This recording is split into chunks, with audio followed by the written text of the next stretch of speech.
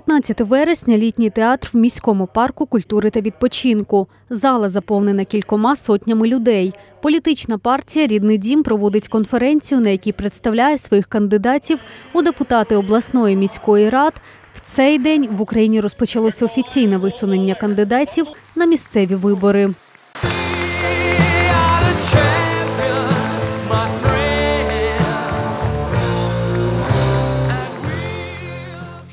Конференція цієї політичної сили почалася з гімну та виступу її лідера Владислава Атрошенка, який під час своєї промови перелічив досягнення свої та команди, які змінили за останні п'ять років Чернігів, і розказав про майбутні плани: більша увага ремонтам прибудинкових територій, медицині, повернення ТЕЦ в комунальну власність та будівництво палацу спорту. Нам закидають, що ми відновлюємо місто лише в центрі та проводимо тільки косметичні роботи. А дорога на Шерстянку. Про неї мріяли останні 30 років. А повна заміна всіх комунікацій, прокладених ще в 60-х роках минулого сторіччя. А це декілька кілометрів магістральних комунікацій. на вулицях Київська, на вулиці Героїв Чорнобиля. Ці роботи вже зараз можуть бути непомітні людям, але вони були і є надважливими в питанні заміни інфраструктури міста.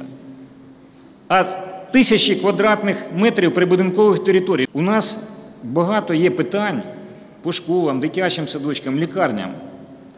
Але треба наголошувати на тому, що і відремонтовано приміщення шкіл, садочків, лікарень, пологового будинку. Ми повністю зробили термореновацію пологового будинку. Подивіться, як він зараз виглядає. Я переконаний, що в такому пологовому будинку просто приємно народжувати.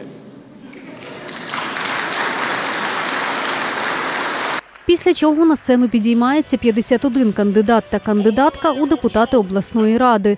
Список очолює Ніна Лемеш, яка є призеркою чемпіонатів світу, Європи та Кубків світу з біатлону. З 15 по 20 рік займала посаду директорки департаменту сім'ї, молоді та спорту Чернігівської ОДА. Нині заступниця міністра молоді та спорту. Представляючи Чернігівщину і Україну на світових спортивних аренах, маючи можливість у непрості 90-ті змінити місце проживання, а то й залишитися в одній з країн Європи чи Америки, але я знову і знову поверталася в рідний дім на свою батьківщину.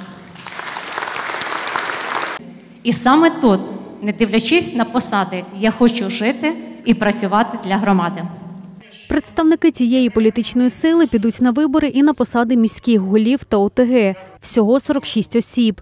Наприклад, до команди очільника Чернігова приєдналися діючі керівники Ніжина та Новгород-Сіверська.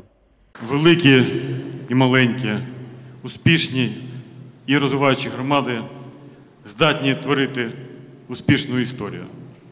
Братимуть участь у місцевих виборах до міської ради Чернігова і 42 кандидати в депутати. Це заступника Трошенка Олександр Ломако, директорка міського палацу культури імені Радченка Ірина Должикова, начальник управління сім'ї, молоді та спорту Андрій Дереземля та заступниця головного лікаря пологового будинку Галина Ленник. Нагадаємо, що місцеві вибори в Україні призначені на 25 жовтня.